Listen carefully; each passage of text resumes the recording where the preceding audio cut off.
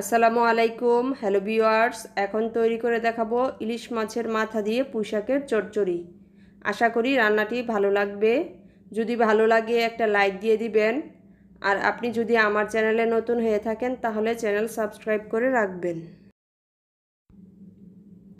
আজকে রান্নার জন্য এখানে বড় সাইজের একটি ইলিশ মাছের মাথা নিয়েছি, আর একটি নিয়েছি মিডিয়াম সাইজের মাথা। এগুলোকে মাঝখান থেকে কেটে ভালো করে ধুয়ে রেখেছি। এখন সামান্য লবণ আর হলুদ দিয়ে মাছের মাথাগুলো ভালো করে মেখে নিব। এভাবে মেখে এগুলোকে বেজে নিতে হবে। মাছের মাথাগুলো বেজে নেওয়ার জন্য প্রথমে একটি ফ্রাই প্যান বসিয়ে এর মধ্যে সরিষার তেল দিয়ে দিচ্ছি ওয়ান ফোর্থ কাপ। আর আজকের পুরোটা রান্নায় আমি সরিষার তেল দিয়ে করব আর মাছের মাথাগুলো দিয়ে দিচ্ছি।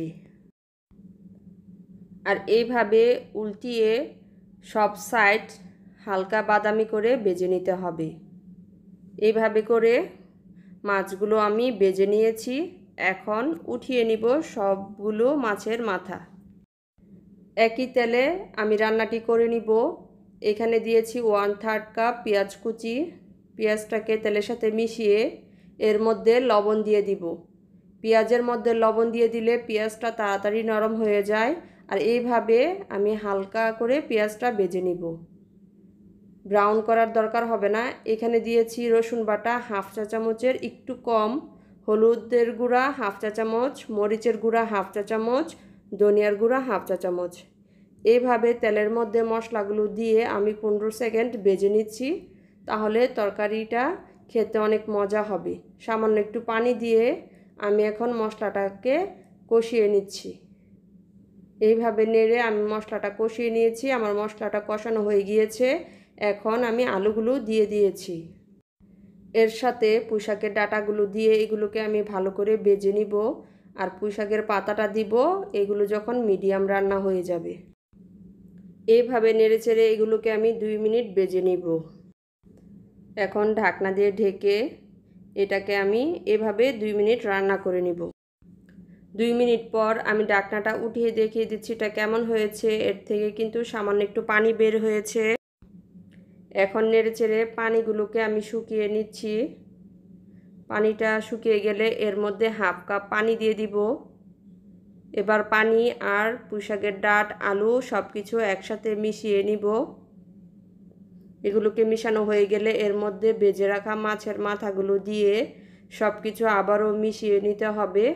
এখন ঢেকে দিব পাঁচ মিনিটের জন্য। ঢাকনাটা দিয়ে এভাবে আমি পাঁচ মিনিট এটাকে রান্না করে নিব। পাঁচ মিনিট পর আবারও ঢাকনাটা উঠিয়ে এগুলোকে একটু নেড়ে চেড়ে মিশিয়ে নিচ্ছি আর মাছগুলোকে উল্টিয়ে দিতে হবে।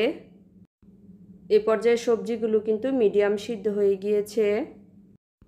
এখন এর মধ্যে পুঁইশাকের পাতাগুলো আমি দিয়ে দিব। এখানে আমি পুঁইশাকের পাতা পরে দেওয়ার কারণ হচ্ছে পাতা সিদ্ধ হতে কিন্তু খুব বেশি একটা সময়ের প্রয়োজন হয় না। ঢাকনা দিয়ে দু তিন মিনিট অপেক্ষা করার পর আবারও এগুলোকে আমি মিশিয়ে নেওয়ার জন্য ঢাকনাটা উঠিয়ে নিয়েছি আর এগুলোকে আমি নেড়ে চেড়ে সব কিছু ভালো করে মিশিয়ে নিতে হবে। এইভাবে নেড়ে চেড়ে মিশিয়ে আবারও ঢাকনা দিয়ে এটাকে আমি পাঁচ মিনিট রান্না করে নিব। এবার পাঁচ মিনিট পরে ঢাকনাটা উঠিয়ে এটাকে আবারও আমি নেড়ে দিয়ে এর মধ্যে পানি দিয়ে দিব হাফ কাপ পানিতে দেওয়ার পরে এখন দিয়ে দিব কাঁচামরিচ। এখানে আমি কাঁচামরিচ দিয়েছি দুইটি, একটু ভেঙে। এখন আমি ঢাকনা দিয়ে দিব। ঢাকনা লাগিয়ে আমি এটাকে দুই মিনিট রান্না করে নিয়েছি।